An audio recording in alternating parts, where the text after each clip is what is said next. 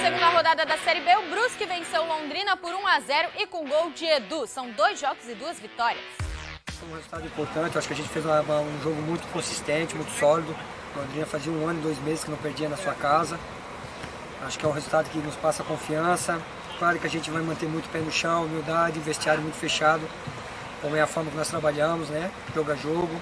Nosso ainda primeiro objetivo sempre é a, a manutenção da Série B. Já o Havaí jogou em casa e quase conquistou a vitória, mas cedeu ao empate.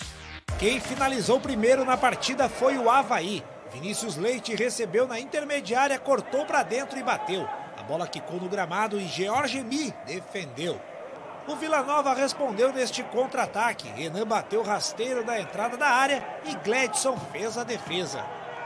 Vinícius Leite tocou para o Bruno Silva, que enquadrou o corpo e deu um tapa de perna direita. Queria o ângulo, quase um golaço. No começo do segundo tempo, Renato cruzou e desta vez não foi quase, foi rede.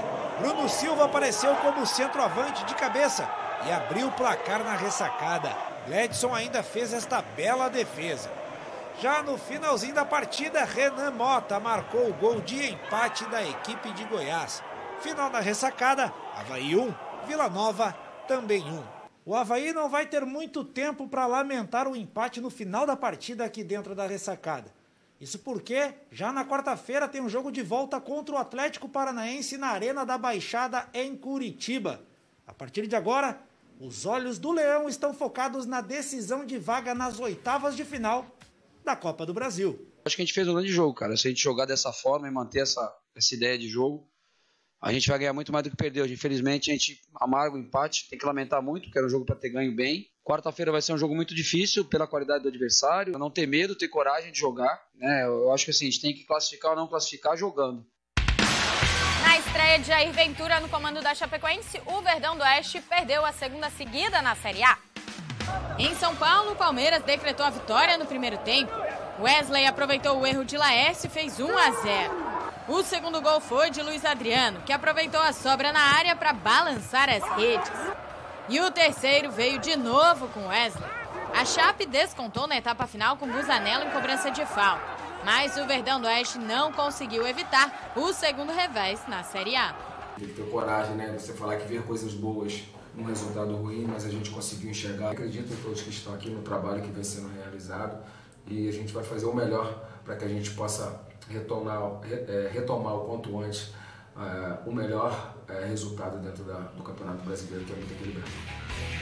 Jogo aberto SC chegando ao fim, mas antes de encerrar, sábado Figueirense completa 100 anos de história e no dia 12 de junho, às 10h30 da manhã, teremos um documentário especial sobre o centenário do Figueirense. A gente deixa um gostinho para vocês aí. Figueirense foi em Bragança, torcida invadiu Bragança Paulista no interior de São Paulo. E nós chegamos dois dias antes, né, em Bragança, para nos preparar bem.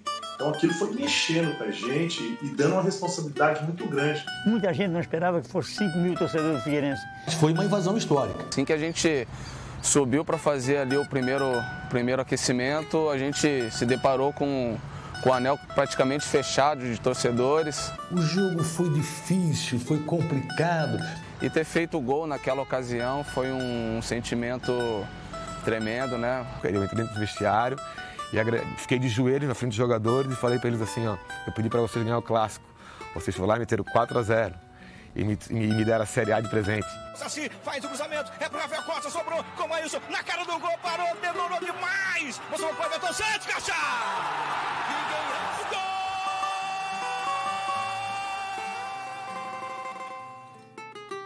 Oferecimento Casas do Pintor. Há 50 anos colorindo a sua vida.